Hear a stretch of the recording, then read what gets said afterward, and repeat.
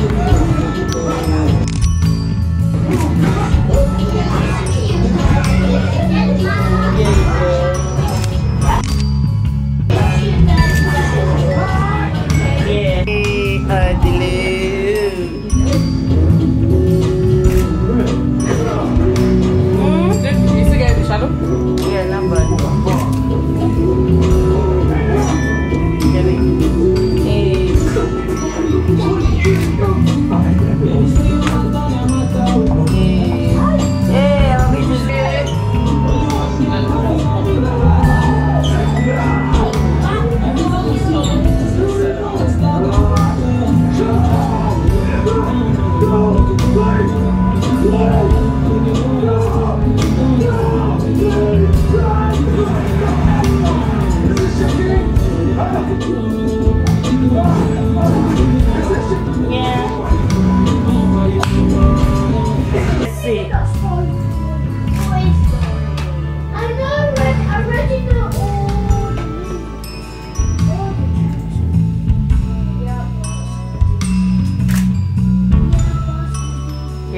Yeah, there you go.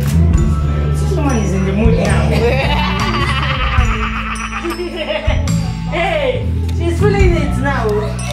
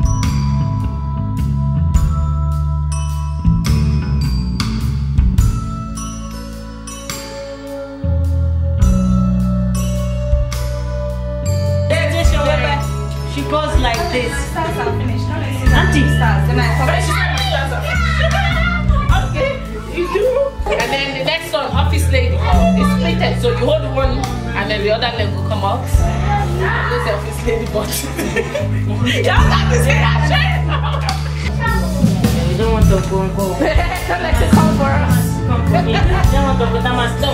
and then bring this one, and then bring this one.